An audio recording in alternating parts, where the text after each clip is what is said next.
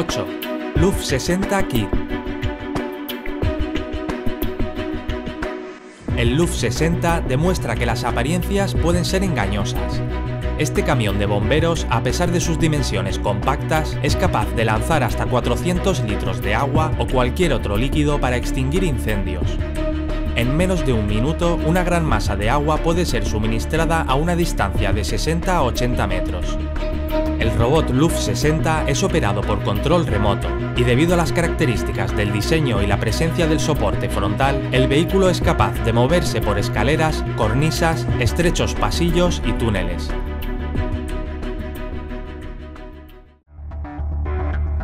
...7. GPM 54 Para algunos, la presencia de una gruesa armadura en un camión de bomberos puede ser un descubrimiento ineficaz. Sin embargo, esta técnica es muy útil en algunos casos. El objetivo de esta máquina es proteger a los almacenes de artillería de un incendio. Trabajar en condiciones donde los restos pueden explotar en efecto dominó hace que el trabajo de los cuerpos de bomberos convencionales sea imposible. Es en este tipo de situaciones donde viene el GPM-54 para luchar contra el fuego. Esta máquina, compuesta por una armadura sólida montada sobre orugas, hace invulnerable a su tripulación. También está equipado con todos los medios necesarios para extinguir el fuego. El GPM-54 es capaz de llevar a bordo hasta 9.000 litros de líquido para extinguir. Muy a menudo, estas máquinas se utilizan para la supresión de incendios forestales descontrolados. Después de todo, con una buena permeabilidad y un peso impresionante, el GPM-54 es capaz de embestir un objeto calcinado en forma de árbol o edificio y atravesarlo.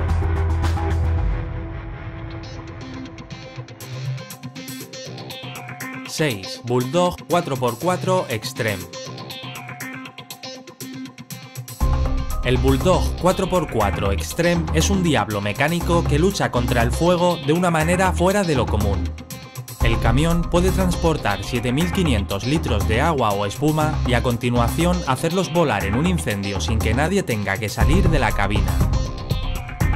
Una capacidad de agua de 7.500 litros no es suficiente para detener un incendio forestal. El cañón de agua de un camión de bomberos normal podría escupir toda esa agua en pocos minutos, pero las capacidades del Bulldog son inmensamente amplias y también puede ser configurado para bombear desde una boca de riego u otro suministro de agua. Además, cuenta con un cabestrante con una fuerza de arrastre de 6.800 kilogramos y lleva un depósito de combustible de 300 litros para así mantener una autonomía prolongada y poder actuar en complicadas operaciones de rescate.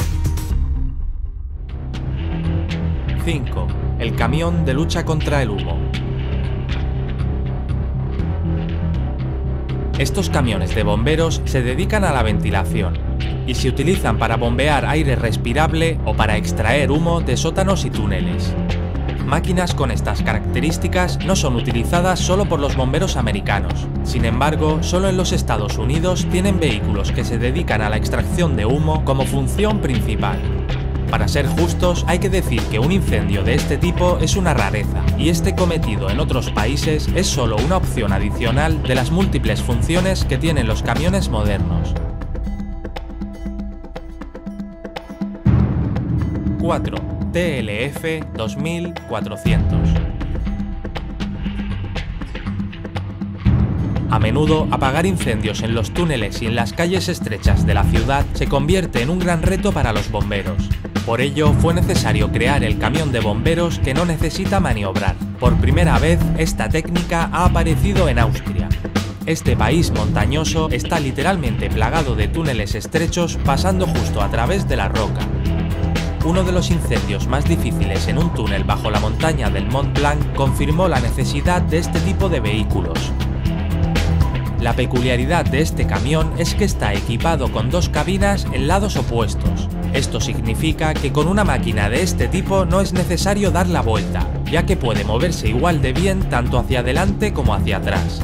Además, el vehículo se conforma sobre una plataforma MAN que es capaz de ofrecer al lugar hasta 2.000 litros de agua. 3. Águila de Hawái El título de la máquina antifuego más rápida e inútil pertenece a la famosa Águila de Hawái. El hecho es que este milagro de la tecnología es capaz de acelerar 655 km por hora. Estas increíbles cifras fueron registradas oficialmente en 1998.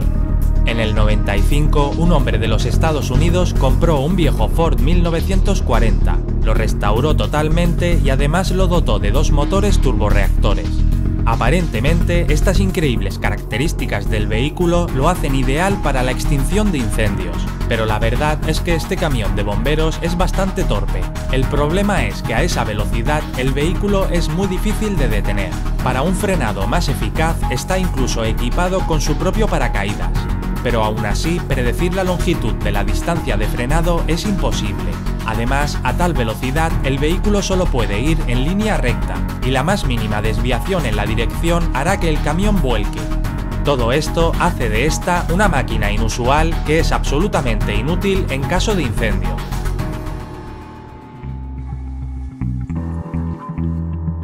(2) SPM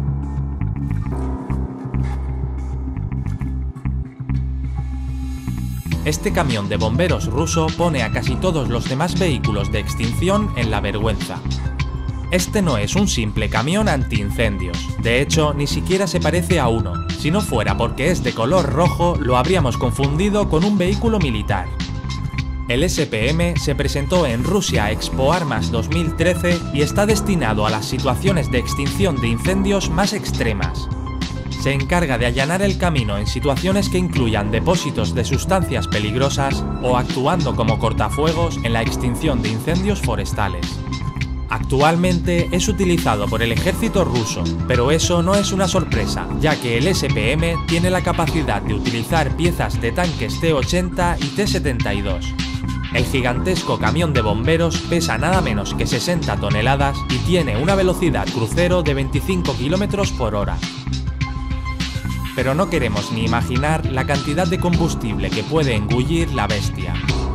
En cuanto a sus capacidades de extinción de incendios, el SPM tiene un tanque de 25 metros cúbicos, alrededor de 25.000 litros de agua y un cañón que puede rociar toda esa agua hasta 100 metros de distancia.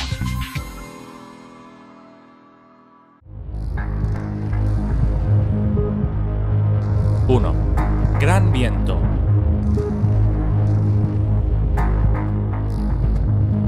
El enfriamiento de pozos de petróleo es extremadamente peligroso y plantea una serie de dificultades. Es por eso que los extintores de incendios como este nos impresionan con su potencia y fiabilidad.